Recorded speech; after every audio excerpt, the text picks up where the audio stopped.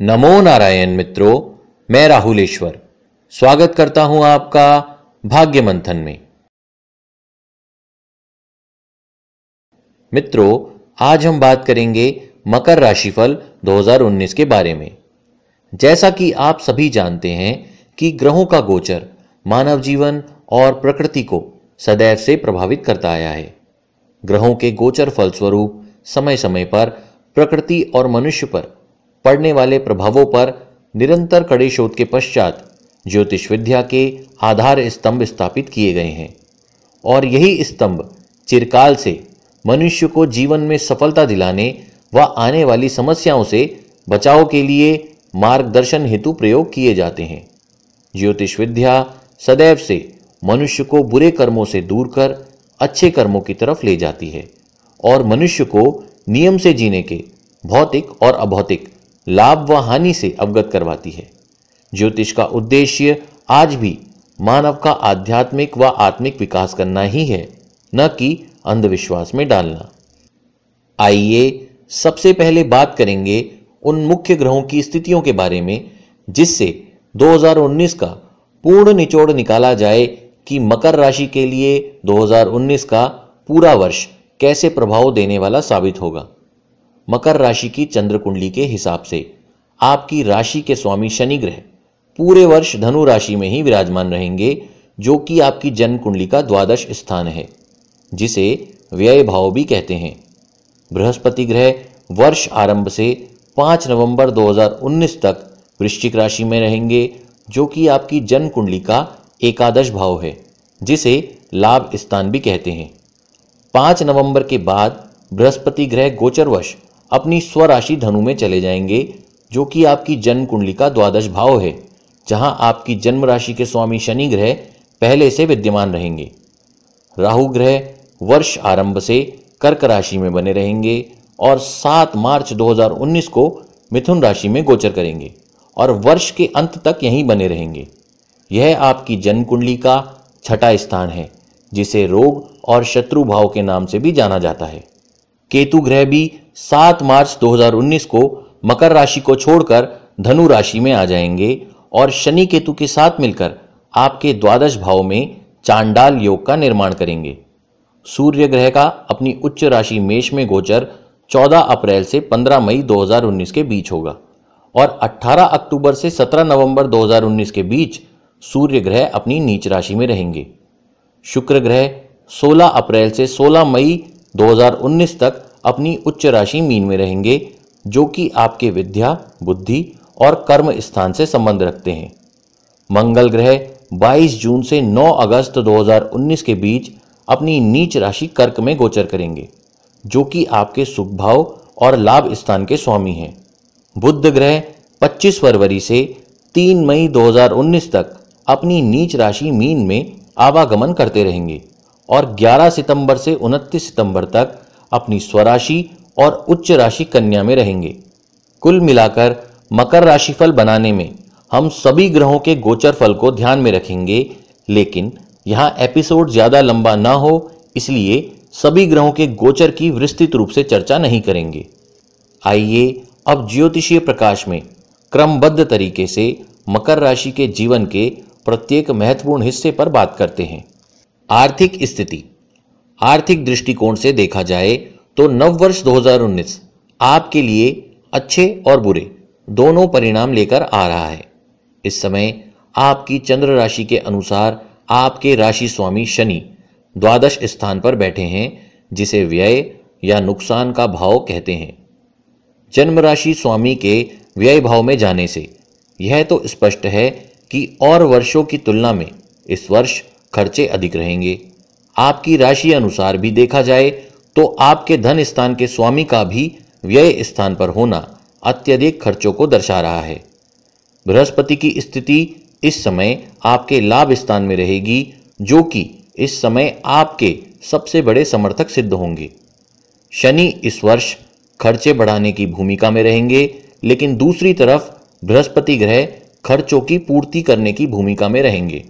बृहस्पति ग्रह और मंगल ग्रह इस वर्ष में जब भी शुभ स्थानों पर जाएँगे, आपको बड़े धन लाभ के योग बनाएँगे।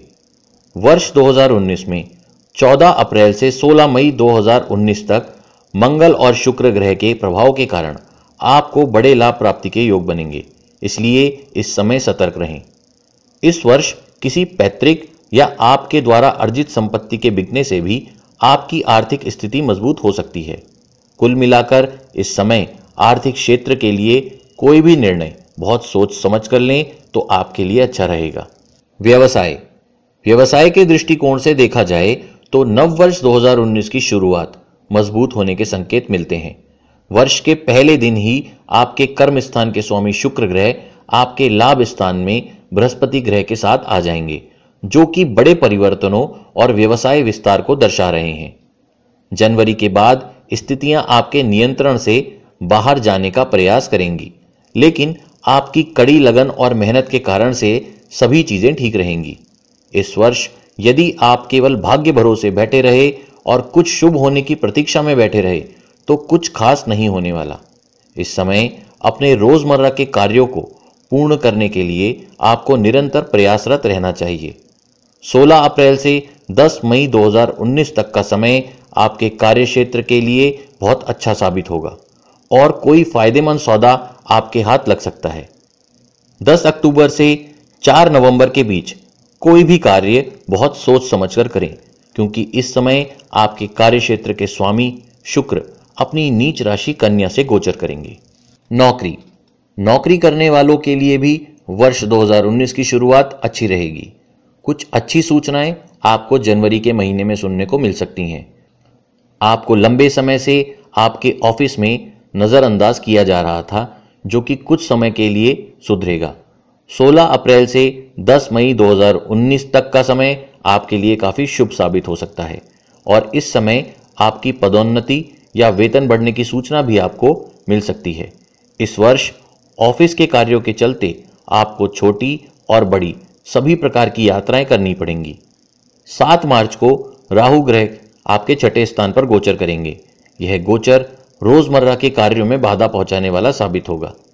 10 सितंबर से 4 अक्टूबर के बीच किसी स्त्री सहकर्मी द्वारा आपके ऊपर किसी प्रकार का झूठा आरोप भी लगाया जा सकता है, जिसके लिए आपको पहले से सतर्क रहने की सलाह दी जाती है। कुल मिलाकर नव वर्ष 2019 आपके लिए अच्छा रहेगा। शिक्षा। शिक्षा के दृष्टिकोण से देखा जाए तो नव वर्ष 2019 की शुरुआत बहुत अच्छी रहने वाली है। आपकी चंद्र राशि के अनुसार आपके शिक्षा भाव के स्वामी शुक्र ग्रह हैं, जो कि वर्ष आरंभ से ही अपनी सप्तम दृष्टि से शिक्षा भाव को देखकर मजबूती और शुभता दे रहे हैं। बृहस्पति ग्रह भी 5 नवंबर 2019 तक अपनी अमृत तुल्य दृष्टि से आपके शिक्षा भाव को अपनी शुभता से अनुग्रहित कर रहे हैं। 7 मार्च को एक मुख्य ज्योतिषीय घटना घटेगी और राहु ग्रह राशि परिवर्तन कर आपके छठे भाव में आ जाएँगे और केतु ग्रह धनु राशि में चले जाएँगे और आपके राशि स्वामी शनि के साथ मिलकर चांडाल योग का निर्माण करेंगे। इस समय आपके जीवन के प्रत्येक क्षेत्र पर बहुत गहरा प्रभाव पड़ेगा, जिससे आपकी एकाग्रता पर नकारात्मक प्रभाव भी पड़ सकता है। इसलिए इस समय आपको ध्यान योग का सहारा लेना चाहिए, जिससे आपके ऊपर इस नकारात्मक गोचर का अत्यधिक प्रभाव ना पड़े। 10 सितंबर से 4 अक्टूबर 2019 तक आपको अपनी मित्र मंडली और विपरीत लिंगियों से भी थोड़ी दूरी बनाकर रखनी चाहिए।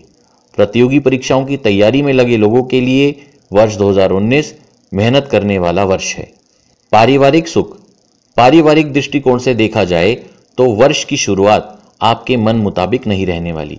आपकी चंद्र राशि के अनुसार आपके कुटुंब भाव के स्वामी भी शनि ग्रह बनते हैं, जो कि वर्ष की शुरुआत में ही सूर्य के साथ धनु राशि में विराजमान है, जो कि पिता या पिता तुल्य लोगों से वैचारिक मतभेद जैसी स्थिति उत्पन्न कर सकते हैं। इस वर्ष के शुरुआती महीनों में पिता के स्वास्थ्य में भी गिरावट आ सकती है, जिसको लेकर आप चिंतित हो सकते हैं। सात मार्च के बाद आपके कुटुंब भाव के स्वामी शनि केतु के साथ मिलकर चांडाल योग का निर्माण करेंगे, जो कि किसी छोटे विवाद व बड़े पारिवारिक कलह का कारण बन सकती है। 22 जून से 9 अगस्त 2019 तक के समय परिवार में किसी संपत्ति को लेकर विवाद बढ़ने के योग भी बने रहेंगे। इस समय माता व माता तुल्य स्त्रियों के स्वास्थ्य का बहुत ध्यान रखने की ज़रूरत पड़ेगी। कुल मिलाकर सावधान रहें और सभी समस्याओं को शांति और सरलता से निपटाने की कोशिश करें। जीवन साथी व प्रेम संबंध। जीवन साथी व प्रेम संबंधों के दृष्टिकोण से देखा जाए तो नववर्ष 2019 आपके लिए अच्छा रहने वाला है। लेकिन 7 मार्च 2019 के बाद, जब राहु ग्रह आपके सप्तम भाव से गोचर करते हुए छठे स्थान पर आ जाएँगे। 22 जून से 9 अगस्त 2019 तक का समय छोड़ दिया जाए तो लगभग पूरा वर्ष आपका ध्यान आपके जीवन साथी के ऊपर रहने वाला है और यह कहीं ना कहीं बहुत अच्छा है। पिछले वर्ष राहु के सप्तम गोचर ने कई मुद्दों पर कई बार टकरार कराई होगी, जिसके चलते आपका मन खराब रहा होगा। इस वर्ष भी 22 जून से 9 अगस्त तक का समय आपके लिए सावधानी बरतने वाला होगा, क्योंकि इस समय मंगल ग्रह आपके सप्तम भाव से गोचर करते हुए, आपके ऊपर मंगली प्रभाव बनाते हुए आपके वैवाहिक जीवन को प्रभावित करेंगे। प्रेम संबंधों के दृष्टिकोण से देखा जाए तो जनवरी आपके लिए यादगार रहने वाली है। इस समय आपको अपने प्रेमी का भरपूर सहयोग मिलेगा। जो लोग अपने प्रेम संबंधों को विवाह के गठबंधन तक ले जाना चाहते हैं, उनके लिए यह वर्ष बहुत शुभ सिद्ध होगा, क्योंकि इस वर्ष बृहस्पति ग्रह सप्तम दृष्टि से आपके प्रेम भाव को देखेंगे और नवम दृष्टि से विवाह भाव को देखेंगे, जो कि विवाह करने के लिए बहुत शुभ है। स्वास्थ्य। स्वास्थ्य के दृष्टिकोण से देखा जाए तो वर्ष 2019 आपके लिए मिले जुले फल देने वाला है।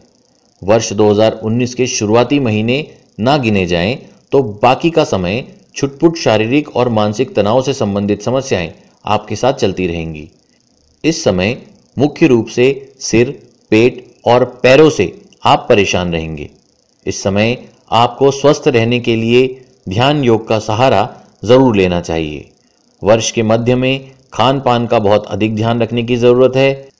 कुल मिलाकर इस वर्ष खान पान सोना उठना नियम से करें। अब हम आपको 2019 के लिए कुछ विशेष उपाय बताने जा रहे हैं, जो कि ग्रहों के नकारात्मक गोचर से आपको सुरक्षा प्रदान करने के साथ साथ आपको तेज़ी से सफलता भी दिलाएँगे। पहला उपाय आता है मंत्र क्षेत्र से। वर्ष 2019 में मकर राशि के ऊपर बनने वाली सभी समस्याओं को दूर करने के लिए हम आपको एक मंत्र बताने जा रहे हैं, जिसके नियमित रूप से जाप करने पर आपको चौंकाने वाले परिणाम प्राप्त होंगे। मंत्र जाप के लिए रुद्राक्ष की माला का प्रयोग करें। मंत्र इस प्रकार है, ओम नमः शिवाय। दूसरा उपाय आता है यंत्र प्रयोग से। भोजपत्र पर अष्टगंध और अनार की कलम के प्रयोग से। केतु ग्रह के 108 अंक यंत्र बनाएँ और किसी भी शनिवार के दिन इन्हें बहते पानी में एक एक करके प्रवाहित करें। तीसरा उपाय आता है रुद्राक्ष धारण से। वर्ष 2019 में साढ़े साथी के खराब प्रभाव से बचने और सभी ग्रहों के शुभ परिणाम प्राप्त करने के लिए सात और चौदह मुखी नेपाली रुद्राक्ष शुक्ल पक्षीय सोमवार के दिन धारण करें। चौथा उपाय आता है शुभ रत्न धारण से। वर्ष 2019 में चंद्र लग्न पंचम व भाग्य स्थान के रत्नों को अष्ट धातु में कवच रूप में धारण करना आपके लिए बहुत शुभ और सफलतादायक सिद्ध होगा। कवच बनवाने व धारण करने से पूर्व अपना जन्म कुंडली विश्लेषण ज़रूर करवाएँ। पांचवा उपाय आता है वैदिक जाप के क्षेत्र से। वर्ष 2019 में मंगल ग्रह और केतु ग्रह शांति जाप करवाना आपके लिए ठीक रहेगा। छठा उपाय आता है तीर्थ यात्रा के क्षेत्र से। मकर राशि वालों के लिए भगवान शिव और शनि देव से संबंधित तीर्थ स्थलों के दर्शन करना सबसे शुभ साबित होता है। सातवां उपाय आता है दान क्षेत्र से। जैसा कि मैं सदैव से आपको बताता हूँ कि कलयुग में नवग्रह शांति का सबसे उत्तम उपाय दान करना है। इसलिए वर्ष 2019 में भी आप भूखों को भोजन, ज़रूरतमंदों को वस्त्र, आर्थिक रूप से कमज़ोर बच्चों की शिक्षा प्राप्ति में सहायता, नेत्रहीनों, असहाय और वृद्ध लोगों की तन मन धन से सहायता के बावजूद, यदि फिर भी कुछ करने का मन करे तो मंगलवार के दिन मसूर की दाल, गुड़ और गेहूँ लाल रंग के कपड़े में बांधकर हनुमान मंदिर में दान करें। नववर्ष 2019 आपके लिए सभी क्षेत्रों से शुभ रहे और आप अपने परिवारजनों और मित्रजनों के साथ जीवन के सभी सुख व आनंद प्राप्त करें। ऐसा मेरी माँ भगवती दुर्गा जी से प्रार्थना है। इसी के साथ हम आज के लिए आपसे आज्ञा चाहते हैं, आपका जीवन शुभ व मंगलमय हो। नमो नारायण।